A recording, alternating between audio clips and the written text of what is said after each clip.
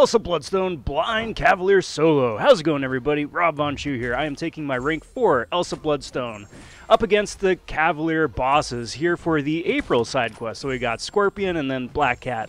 Uh, it's a blind solo uh, because, well, I've been doing this for uh, a bit and, you know, Elsa always comes through in spades. So I wanted to try, try something different and uh, go into these fights without reading the nodes first, which, you know, what's the worst that could happen?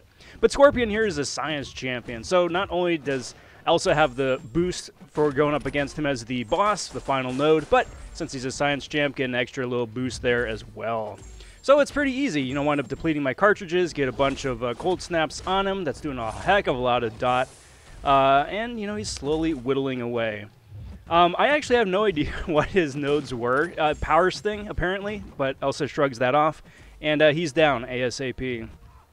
Now, Black Cat, uh, I presume, has some sort of evade. Uh, going back after the fact, she has a, a, super bleed, so all of the bleeds that she does do do even more damage. I get clipped there. Was not anticipating that third strike for that attack.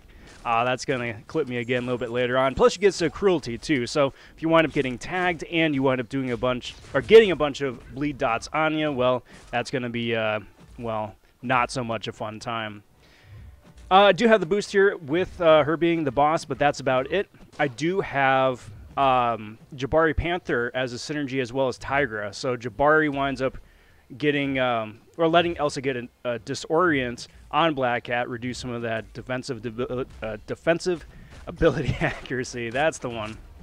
And then um, Tigra, of course, winds up boosting uh, the uh, debuffs that Elsa can place on Black Cat. So it's a bit of a, a, slower fight. I'm not boosted at all. I do have three points in double edge, so that does wind up increasing my damage a little bit. She doesn't wind up evading at all, so I don't uh, throw any cold snaps. It's all incinerate, but that's it. Easy peasy. Alright guys, that's it for this time. Please like the video, subscribe. We'll catch you next time. I'm Rob vonShoe. Take care, everybody.